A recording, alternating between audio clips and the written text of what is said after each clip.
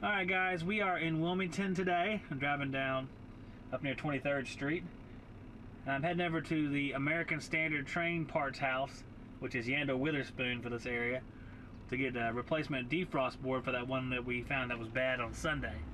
The unit actually blew another fuse uh, overnight last night. Whether or not that has to do with defrost or not, I don't know. Uh, but we're going to see if we can replace that board and figure out what's going on Maybe it's just the board, maybe it's the contactor on the heater, who knows, but we're gonna see if we can figure it out and uh, make it so there's no more fuse blowing there. All right guys, here's our old defrost controller. We're gonna take all the wires off of it put on a new controller there. Uh, I'm also gonna check the contactor ohms to make sure it's uh, working properly. I don't think I actually checked it the other day. It's hard to believe. Um, I'm gonna check it and make sure the ohm rating on it is proper.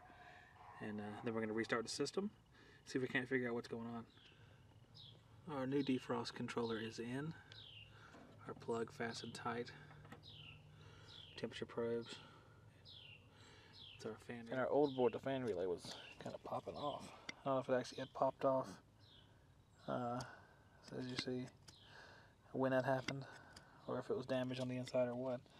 But, uh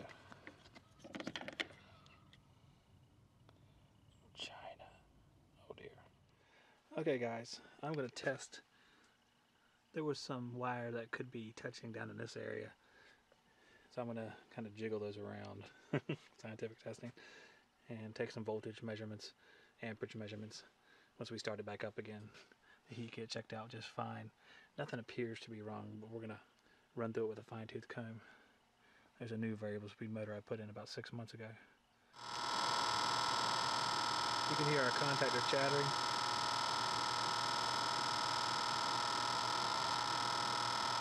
Or uh, to change out contactors that are doing that sort of thing for fear that they'll make improper contact and build up a little bit of heat, and maybe get damaged, or prevent it from you know me having to come out in a couple of weeks to do it. It may last a long time like that, but um, I generally prefer to go ahead and change them out. Alright guys, we got our unit up and running. Defrost board is in there. We're going to test defrost in a minute is our head pressure around 200. Uh, suction pressure there around, I don't know, 55, 60. So looking pretty good.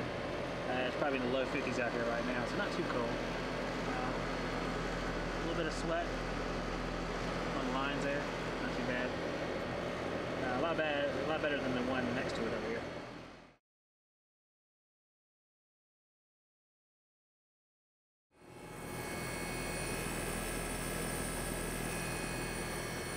a little frosty.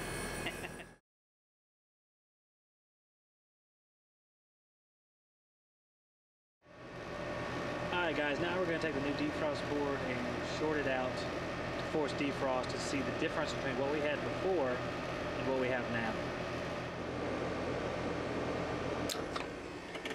Alright, first our unit shuts down.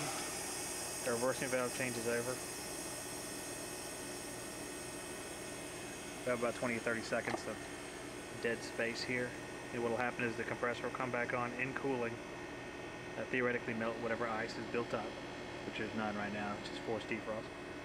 It'll melt the ice, the fan will come back on, and everything will shut down. Then after 20 or 30 more seconds, it'll go back into heating mode. See, before we had our fan in motion, now our fan is doing nothing as it is supposed to of our defrost cycle run.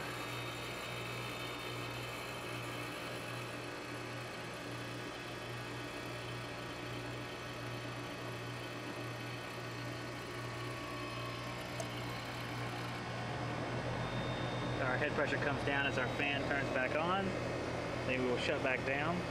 Fan comes back on, I'm assuming, to bring the head pressure down so it stabilizes more quickly. Everything shuts back off. We're going to put it back into heating mode and in a few seconds we'll come back on.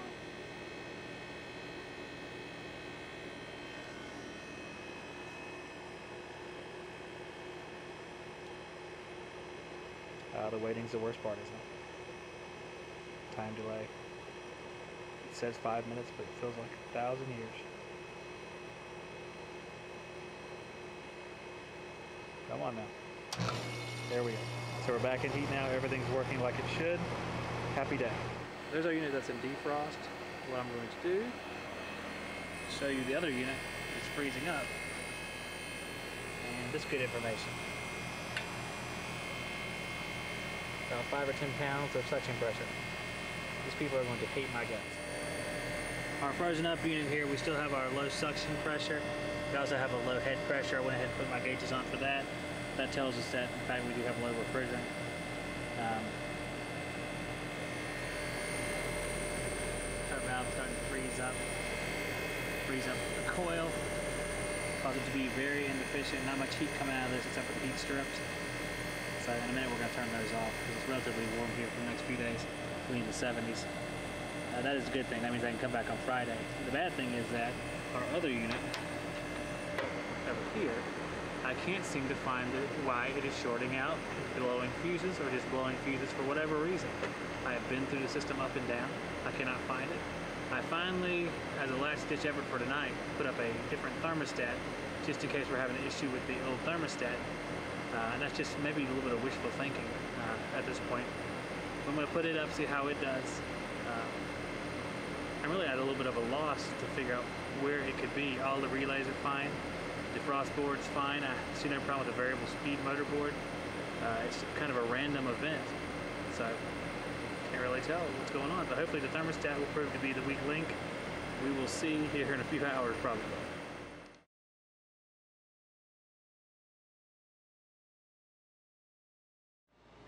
Alright guys, this is day two.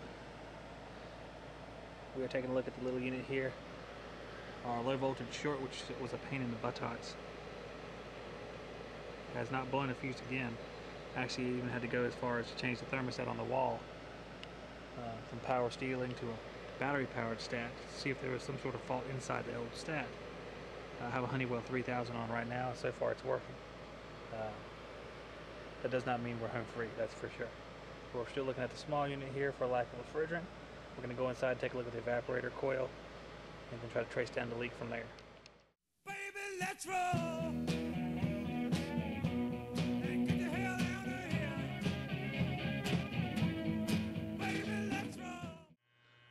Guys, warming up the H10 for our air handler here. Gonna take a look at this coil here to make sure there's no leaks on it, because it's definitely leaking somewhere, and there's our number one location. We have our Trane air handler doors off. This is our evaporator coil. You have to take a little metal shield off the front of it here to take a look on the inside of it. We'll be checking. I noticed the U-bends in this area. I've had a problem with in the horizontal application on Trane coils. I've seen a lot of those leak in that area. So we'll take a little thorough swing through here and uh, see if we can't locate a leak in this location. So basically, as we're looking at the coil, we're going up into this region here. Putting our probe here. And that's where we're getting the reading. As you see, it takes off pretty good. So, that's where our leak is. We'll keep looking on the coil, see if there's any more, and give a brief look outside. Because it is 10 years old, and we have more than one, you never know. Alright guys, we picked up our leak up front here. Uh, let's see what happens when I stick the probe to the back of the air handler.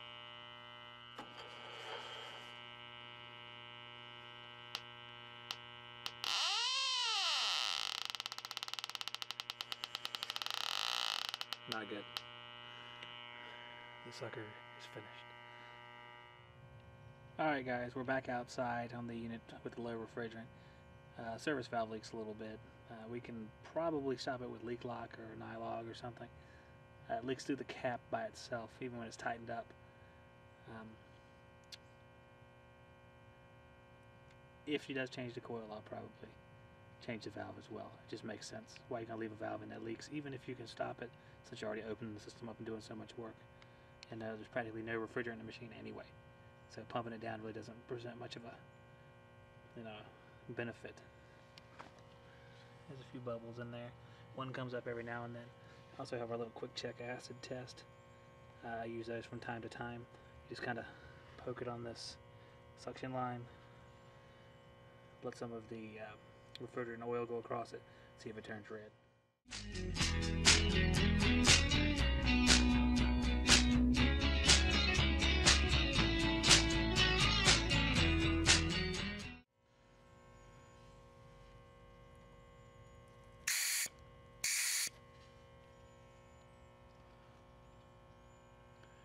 That ain't too damn good. They're really gonna hate me.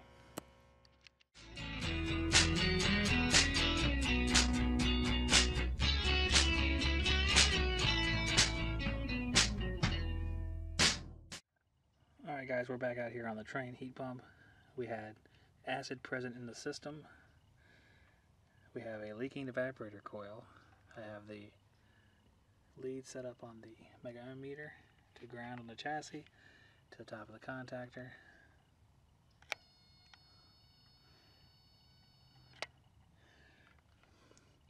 This sucker doesn't get much worse. So, just about everything major that can go wrong is gone wrong, except for the outdoor coil leaking. Bad, bad news all the way around. I'm gonna take off the crankcase heater just to take it out. It might be the thing that's grounded, uh, but either way, it's not great news. These two wires here on the flag terminals at the bottom of the contactor go to the crankcase heater, which I guess this one's in service all the time. Sometimes they're broken across the contactor, so they're in service when it's not running but this one was in service constantly. So we're going to check it without this crankcase heater wires hooked up. That's not good news. That's not good news at all. She is on death's door.